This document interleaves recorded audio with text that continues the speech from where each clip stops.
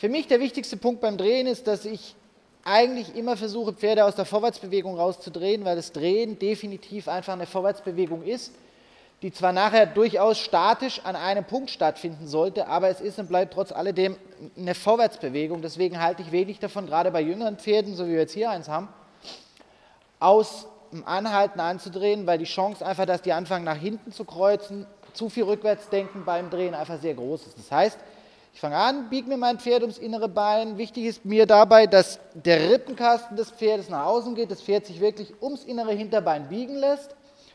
Und dann ist das Drehen eigentlich nichts anderes mehr als die logische Folge von einem extremen Lenken. Das heißt, ich lenke mein Pferd immer mehr nach innen, bis es anfängt zu drehen, bis es anfängt überzukreuzen.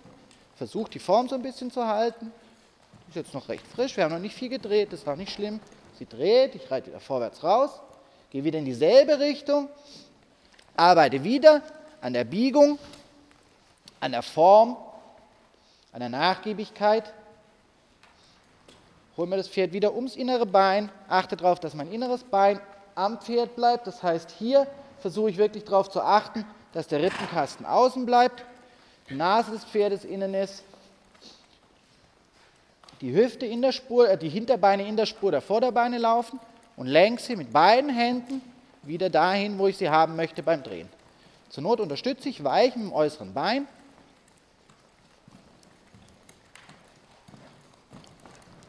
Lass das Pferd weich drehen, übertreten und reite wieder weich raus.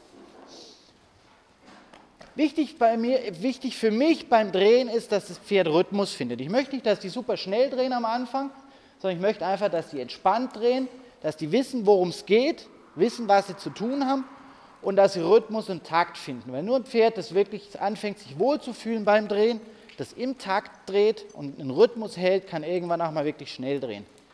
Wenn die zu schnell zu viel Geschwindigkeit aufnehmen, werden sie hektisch, fangen an, sich Knoten in die Beine zu machen. Wichtig ist einfach nur, dass die Schritte gleich groß sind, dass die Pferde anfangen, sich fallen zu lassen und nicht so wie sie jetzt hier gerade rauseiert, hier hat man gerade so den typischen Punkt, dass ich einfach die Hüfte verloren habe beim Drehen. Sie hat nach außen weggedriftet.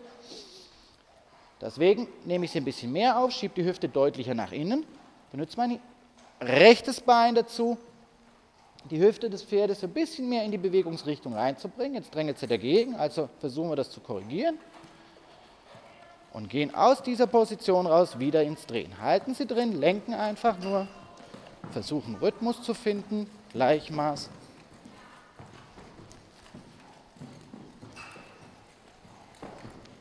und reite wieder weich raus.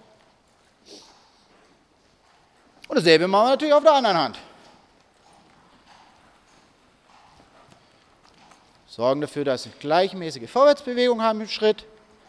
Achten darauf, dass das Pferd weich an den Hilfen ist.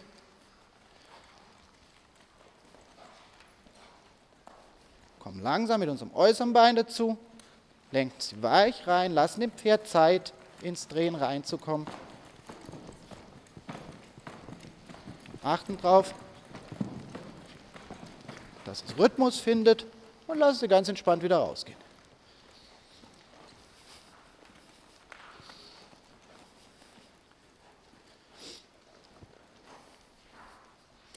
Im Idealfall ist all das eine Geschichte, die relativ entspannt passiert und ohne übermäßigen Druck, sondern einfach nur ein lockeres, Lenken der Vorderbeine um die Hinterbeine. Sie gut gedreht hat, halt nur an, lasst danach wieder eine Runde Schritt gehen, sorgen dafür, dass das Pferd sich entspannt machen dasselbe wieder.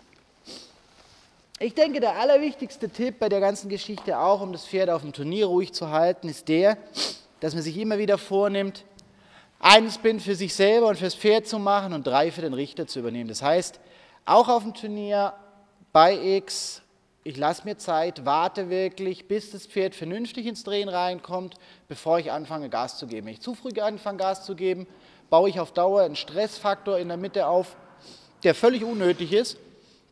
Und wenn ich dem Pferd die Möglichkeit gebe, zuerst mal reinzukommen und dann Gas zu geben, sorge ich einfach dafür, dass sie in der Mitte nie wirklich Stress haben und nie großartig darüber nachdenken, dass jetzt sofort irgendwas Superschnelles passiert. Das wäre so mein erster Quick-Tipp fürs Drehen gewesen.